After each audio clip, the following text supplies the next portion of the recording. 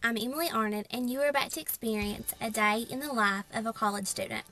It is 6 o'clock in the morning, and I'm getting ready for school, and this is where my day begins.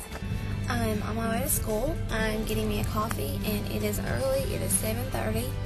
I am walking to class, and I'm going to statistics this morning at 8.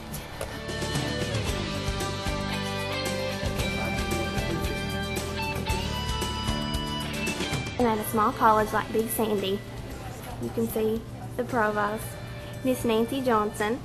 I'm getting ready to go in the library to finish typing the paper between classes.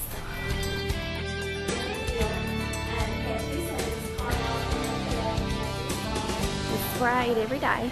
Salad Bar has the best food on campus. Come to Big Sandy. We will make your dreams come true.